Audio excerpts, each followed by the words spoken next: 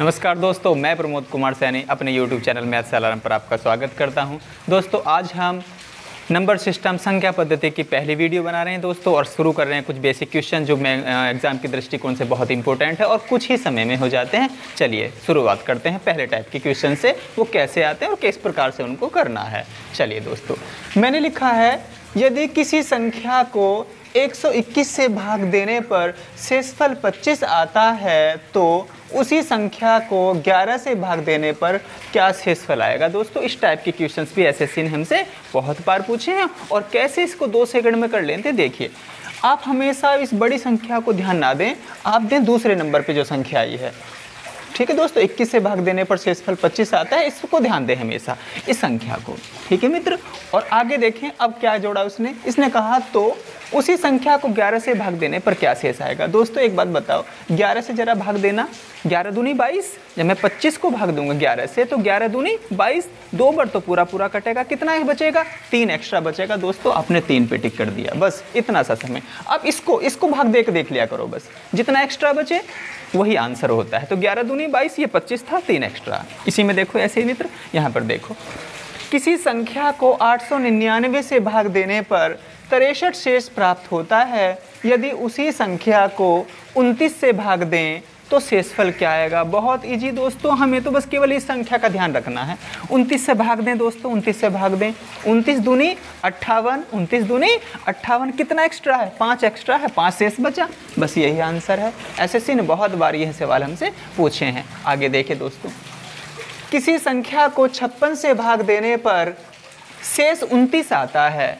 यदि उसी संख्या को आठ से भाग दें तो शेष क्या आएगा मित्र? क्या आएगा? बोलिए, भाग देकर देखिए। आठ दूनी सोलह, आठ तिया चौबीस। ठीक है? आठ तिया चौबीस। चौबीस से कितना एक्स्ट्रा है? पाँच। पाँच ही शेष बचेगा तो पाँच इसका आंसर आ गया। देखिए, कुछ कोई पेन नहीं, कुछ नहीं करना, बस खाली थॉट प्रोसेस पे भाग दे के देख लेनी है स्वयं से ही। एस ने बहुत बार ये सवाल हमसे पूछे हैं मित्र। चलिए, अगले क्वेश्चन को देखें। किसी संख्या को 342 से भाग देने पर शेषफल सैंतालीस प्राप्त होता है तो उसी संख्या को 18 से भाग देने पर शेष क्या आएगा? तो हमने क्या देखना है मित्र? इस सैंतालीस को 18 से भाग दे के देखें तो 18 दूनी 36 36 को इससे घटाएँ, क्योंकि तीन बार तो पढ़ा नहीं जा सकता ना अठारह से चौवन तो नहीं जा रहा। तो 18 दूनी 36 कितना एक्स्ट्रा 36 से ये 11 तो 11 ही शेष हो गया। क्या इस टाइप के सवाल आप कर पाएँगे दोस्तों? ठीक है, अगले टाइप के सवाल देखते हैं। अगले क्वेश्चन देखते हैं दोस्तों। इनकी भी शॉर्ट वे सीखते हैं इनके। स्टार का न्यूनतम मान क्या रखा जाए कि चार पाँच एक स्टार छः ज़ीरो नौ नौ से पूरी तरीके से विभाजित हो जाए, नौ से पूरी तरीके से कट जाए। तो मित्रों, नौ के डिविजिबिलिटी टेस्ट, ग्यारह के डिविजिबिलिटी टेस्ट हमारे याद बहुत होने चाहिए, हमारे याद ज़रूर होने चाहिए, इनका तरीका हमें पता होना चाहिए। तो क्या है वो? हालाँकि मैंने डिविजिबिलिटी की अपनी वीडियोस में इन सबको बहुत अच्छे से डिस्क्राइब किया है, वहाँ पर आप देखिएगा, लेकिन चलो मैं बताता हूँ। देखो दोस्तों, कोई भी संख्या, कोई भी संख्या नौ से तब विभाजित मानी जाएगी जब उसके सभी अंकों का योग भी नौ से कटेगा। ठीक है दोस्तों, जैसे फॉर एग्ज़ाम्पल अट्ठारह, नौ से कटती है तो आठ एक, नौ योग भी कटता है। जैसे चौवन है, नौ से कटती है, लेकिन पाँच और चार को भी जोड़ें तो भी नौ बैठता है। तो कहने का मतलब संख्या छोटी हो या बड़ी हो दोस्तों, उसके अंकों का जोड़ भी नौ से कटता है, यही नौ से डिविजिबिलिटी का रूल है। तो देखिए, यदि ये नौ से कटती है तो स्टार की जगह हम क्या रखें? सबसे पहले तो चार और पाँच, नौ, ये तो वैसे ही कट गया दोस्तों। पहले नौ बनाते रहो, जहाँ भी नौ बने, उसको नौ बना के काट दो। ठीक है? छः और तीन भी नौ बनता है, कट गया दोस्तों।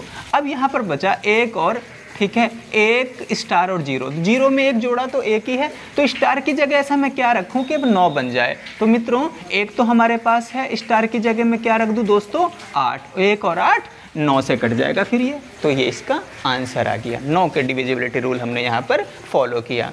इसमें भी देखिए मित्रों, पाँच चार तीन दो, स्टार सात नौ से विभाजित हो तो स्टार के स्थान पर क्या अंक आएगा? इसको देखते हैं। फिर से देखेंगे मित्रों, पाँच और चार नौ, ये नौ बना और कट गया दोस्तों। यहाँ पर भी देखेंगे सात और दो, नौ कट गया मित्रों, ये भी नौ हो गया।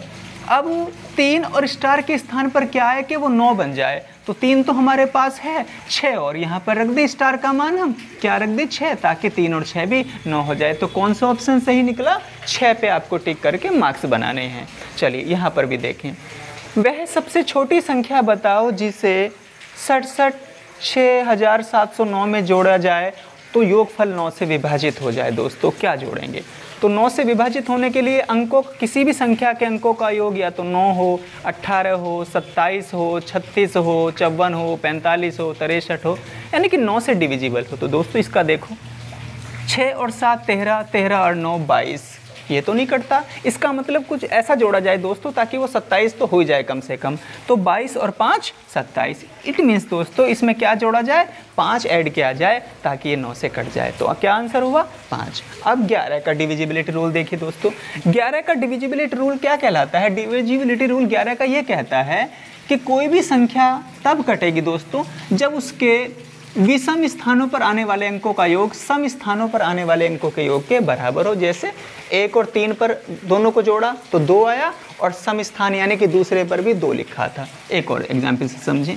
जैसे तेरह सौ इकतीस, ये ग्यारह का घन है। देखें दोस्तों, इन दोनों का जोड़ भी तीन और एक चार और यहाँ भी तीन और एक चार। जब मैंने पहले और तीसरे अंकों को जोड़ा तो योग चार। जब मैंने दूसरे और चौथे स्थान पर आने वाले अंकों को जोड़ा तो चार। एक तो ये। दूसरा क्या है? यह अंतर ग्यारह आ जाए। दोस्तों, यह अंतर क्या आ जाए? ग्यारह, जैसे समझते हैं इस बात को। तो ये कहते हैं, स्टार तीन सौ इक्यासी, ग्यारह से विभाजित हो तो स्टार के स्थान पर क्या आएगा मित्र? स्टार के स्थान पर क्या आएगा? तो देखिए, मैं यहाँ पर ऐसा क्या रख दूँ? ऐसा क्या रख दूँ? वो जोड़ें और इसको भी जोड़ें। फिर आठ को और संख्या को जोड़ें और तीन को एक को जोड़ें। तो या तो अंतर ज़ीरो बन जाए या अंतर ग्यारह आ जाए। तो मित्र, हम यहाँ पर क्या रख लेंगे? हम यहाँ पर रखेंगे सात। स्टार की जंग हम क्या रखेंगे? सात दोस्तों। अब सात सपोज़ कीजिए यहाँ। तो सात और फिर यहाँ, यानी कि पहले और तीसरे स्थान पर आने वाले अंकों को जोड़ो। तो सात और आठ कितना हुआ मित्र? पंद्रह। ठीक? और ये तीन और एक, चार। और पंद्रह में से चार गए ग्यारह। तो हमारा आंसर क्या रखने से आया? सात को हम टिक करेंगे। सात से हमें मार्क्स मिलेंगे दोस्तों। स्टार की जगह क्या आया? सात। आई होप आपको समझ पाए। यहाँ पर भी देखेंगे तो ये संख्या भी ग्यारह से विभाजित है तो स्टार के स्थान पर क्या आएगा? यहाँ पर भी देखें वही चीज़। पहले और तीसरे का जोड़ें, फिर पाँचवें का जोड़ें, फिर सातवें का जोड़ें दोस्तों। कैसे? पहला पहला अंक, दूसरा छोड़ दीजिएगा, तीसरा अंक, चौथा छोड़ दीजिएगा, पांचवा अंक, छठा छोड़ दीजिएगा, सातवा अंक। यानी कि विषम अंकों को जोड़ेंगे पहले। विषम स्थानों पर आने वाले अंकों को। अब सम स्थानों पर आने वाले अंकों को जोड़ें दोस्तों। ये सम स्थान है। ये दूसरा, चौथा, छठा। तो देखिए, पहले विषम स्थानों पर आने वाले अंकों का योग कितना बैठ गया? तो चार और तीन, सात और सात, चौदह चौदह और आठ, दोस्तों कितना हो गया? बाईस। चौदह और आठ, बाईस। देखिए, चार, तीन, सात और सात, चौदह और आठ, बाईस। यानी कि नीचे भी बाईस लाना है अब हमने। ठीक है, देखेंगे। तो आठ और दो, दस, या क्या स्थान पर? यहाँ पर क्या रख लें? कि यहाँ पर क्या रख लें? ठीक है दोस्तों? तो आठ, दो, दस और ग्यारह रख लूँ मैं, क्योंकि अब हमारे लिए बाईस लाने के लिए या तो आठ और दो, दस, या तो ऑप्शन में बारह होता, तभी तो बाईस बैठता। ऊपर के अंकों का योग बाईस आया है, या तो ऑप्शन में बारह होता हमारे लिए, कि भाई आठ, दो, दस और स्टार की जगह बारह रख दें। लेकिन अंक तो एक ही आना है तो इसका मतलब अगर बारह नहीं जोड़ सकते तो अंतर ग्यारह कर लें। तो मित्र, इसका दिख तरीका देखें। सब एस एस में पूछा ये भी हमसे। तो कितना हुआ था? ऊपर बाईस बैठा था ये। ठीक, यहाँ पर देखिएगा आठ, दो, दस। स्टार की जगह क्या, एक रखने में क्या दिक्कत है? स्टार की जगह आप क्या रखें मित्र? एक। तो आठ, दो, दस और एक, ग्यारह हो जाएगा और बाईस में से ग्यारह गया, ग्यारह बचा। तो यानी कि क्या आंसर है हमारा? एक इसका आंसर है। अगले क्वेश्चन को देखो दोस्तों। सात, तीन, आठ, ए छः ए, ग्यारह से विभाजित है। तो ए का मान दोस्तों हमें बताना है। चलिए देखेंगे। यहाँ पर भी देखें मित्र। सात और आठ, पंद्रह और छः इक्कीस। ठीक है मित्र? इक्कीस बैठ गया जब हमने विषम स्थान स्थान पर आने वाले अंकों का योग किया। अब सम स्थानों पर देखेंगे दोस्तों। तीन ए और ए अब ए तो कुछ हमें पता नहीं ए तो हमें फाइंड करना है यहाँ पे। जैसे ऊपर तीन सात, आठ, पंद्रह और छः इक्कीस बनाए नीचे भी इक्कीस बनाना हमें। नीचे भी इक्कीस बनाना है। ठीक तो कैसे? एक स्थान पर क्या रख दूँ? मैं नौ रख दूँ। तो नौ और नौ अट्ठारह और तीन, इक्कीस। इसका मतलब दोस्तों, एक ही जगह मैं क्या रख सकता हूँ? नौ और बराबर बैठ जाएगा इक्कीस और इक्कीस। आई होप समझ पाए आप। ठीक है दोस्तों, चलिए और देखते हैं इस टाइप के कुछ क्वेश्चंस को। अगला क्वेश्चन देखो दोस्तों। चार, तीन, दो, पी, वन। नौ से विभाजित होने वाली एक संख्या है तो ऐसी सिचुएशन में पी का मान क्या आएगा? पी की वैल्यू क्या होगी? तो दोस्तों, नौ से डिविजिबिलिटी का रूल तो अभी पिछले क्वेश्चन में आपने देखा है। जहाँ भी नौ बन रहा हो, सबसे पहले उसको आप काट दीजिएगा। तो देखिए, चार, तीन, सात और दो, नौ। ये नौ बन गया मित्र, यानी कि कट गया है, नौ से डिविजिबल हो गया।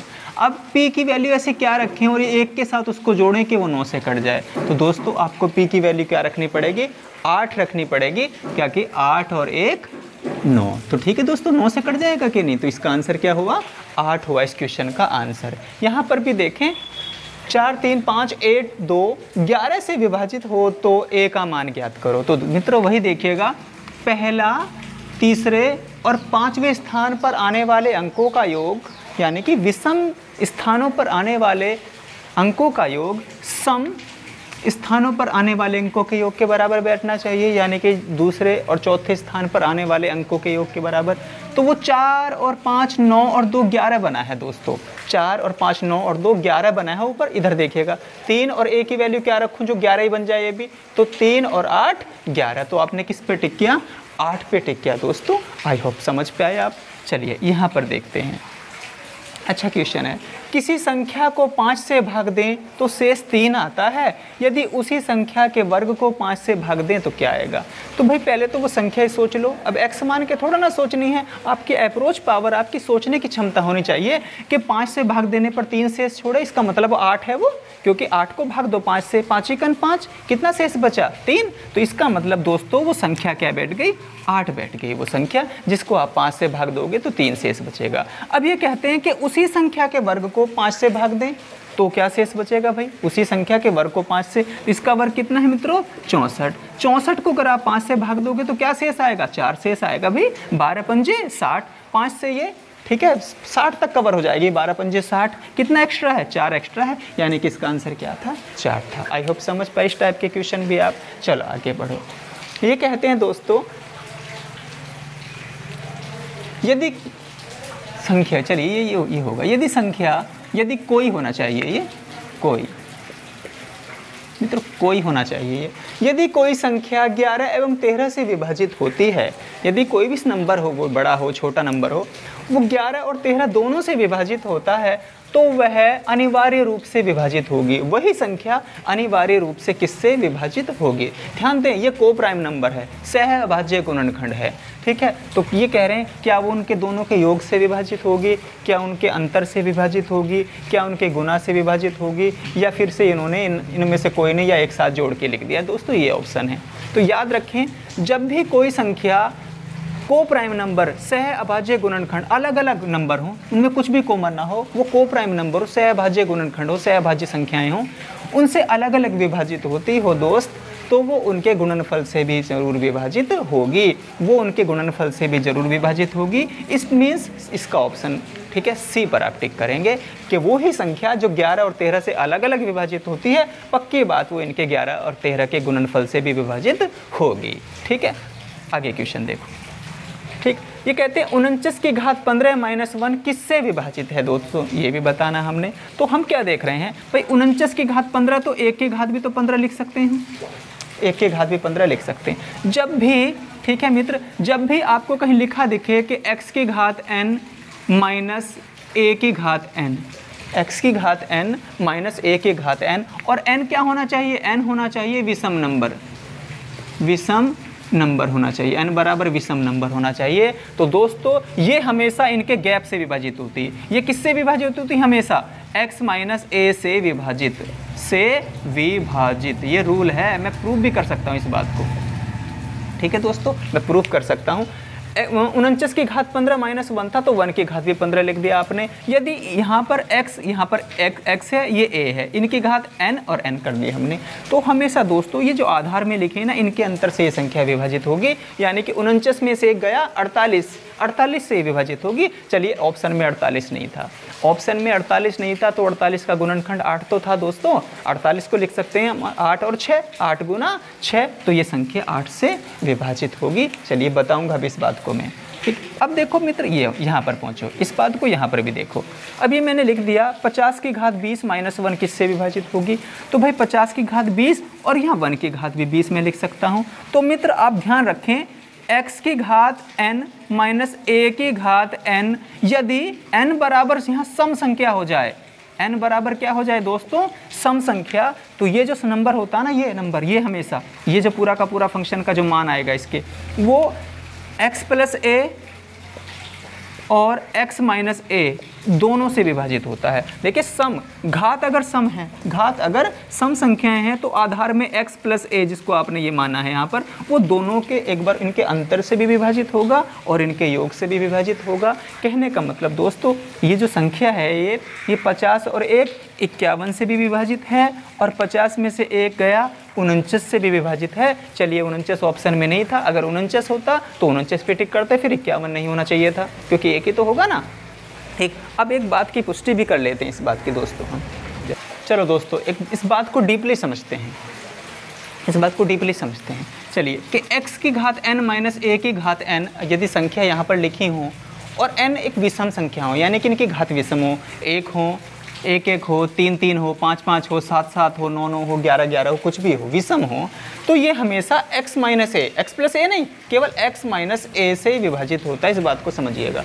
इस बात को कुछ यूँ समझते हैं कि यदि मैं x का मान इनमें से पाँच रख लें, और ठीक है दोस्तों, और यहाँ पर इसकी वैल्यू हम दो रख लें। कितना रख लें दोस्तों? दो। तो और पाँच और x का मान पाँच और ये दो। चलिए सबसे पहले मैं क्या घात रखता हूँ? सबसे पहले विषम एक रखता हूँ मैं, एक। तो किसका मतलब दोस्तों क्या हुआ ये? तीन में से पाँच में से दो गया तीन।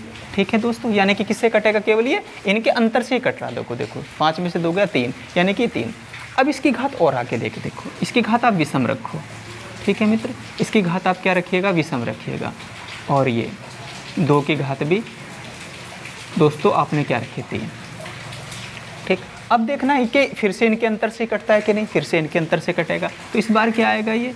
पाँच पंजे, पच्चीस पंजे, एक सौ पच्चीस आया दोस्तों, और ये कितना आया? आठ आया। तो देखना, या इनके अंतर से कटना चाहिए, फिर से ये तीन से ही कटना चाहिए। तो कितना बचा दोस्तों? पंद्रह में से आठ गया, सात बचा, एक और एक। देखिए, फिर से ये किससे कटेगा? तीन से ही कटेगा, देखेंगे आप। देखिए, इनके अंतर से, इनके योग से पाँच और दो सात से नहीं कटता ये। तीन से ही कटता है, कि तीन तिया नौ, तीन नम सत्ताईस। तो कहने का मतलब यहाँ पर जब घात विषम हो, चाहे आप पाँच रख के देख लो तो तो ये केवल इनके जो आधार में लिखे, इनके बेस के अंतर से कटता है। चलो, ये दो संख्या हम यहाँ पर लेके देखते हैं कि पाँच और दो लेके देखते हैं। इनकी घात इस बार सम रखो, दो दो रखो दोस्तों। तो देखेंगे इनके योग और इनके अंतर दोनों से कटेगा ये। योग और इन दोनों के योग और इन दोनों के अंतर दोनों से कटेगा। इस बात की पुष्टि भी कर लेते हैं। क्या आया देखिएगा, चलिए क्या आया देखते हैं इस बात को। कितना आया भाई? पच्चीस सॉरी पच्चीस माइनस के दो का वर्ग चार। कितना बना? इक्कीस। अब आप एक बात बताइए, इक्कीस पाँच और दो सात? पाँच और दो सात सात से भी इक्कीस कटता है और पाँच में से दो गया, तीन से भी इक्कीस कटता है। यानी कि इनके योग से भी कटता है और इन दोनों के आद, अंतर से भी कटता है। इस बात की पुष्टि और करने के लिए और लिखें आप आप ऐसे करें। चलिए इस बार चार रख के देखें दोस्तों। क्या रख के देखेंगे आप? चार। चार रख के देखेंगे घात। तो क्या बनेगा भाई? 625 और दोस्तों ये कितना बनेगा? 16 तो कितना आया? 609 600 नौ बचा। अब 609 क्या होना चाहिए? पाँच और दो सात से भी कटना चाहिए और पाँच में से दो गया, तीन से भी कटना चाहिए। करके देखिएगा दोस्त, तीन से तो कटता है क्योंकि इसके अंकों का योग तीन से कट रहा है। अब आप सात से भी कट के लेके देख लें, सात अट्ठे छप्पन, चार बचा, उनचास। ठीक है, सात सत्ते उनचास। तो इस बात की बारीकी ये है कि यहाँ पर कुछ भी क्यों ना हो। अगर घात मित्र, घात लिखी है विषम तो केवल इनके अंतर से कटेगा। घात लिखी है सम तो इनके योग और इनके अंतर दोनों से कटेगा। दोस्तों, इस बात को आप स्क्रीनशॉट लेके बारीकी से समझिएगा। इस पे मैंने दो क्वेश्चन भी किए हैं। तो आज की वीडियो में बस मैं यही तीन टेप टाइप आपको समझाना चाह रहा था और आई होप ये चीज़ें आपको समझ में भी आए दोस्तों। इसकी अगली वीडियो के मैं कुछ नए क्वेश्चन के साथ आपसे मिलूँगा। ये वीडियो आपको पसंद आई हो तो लाइक करें दोस्तों। चैनल पर नए हो तो चैनल को सब्सक्राइब करें। अगली वीडियो में मिलते हैं मित्रों। चलिएगा, अपना ख्याल रखिएगा।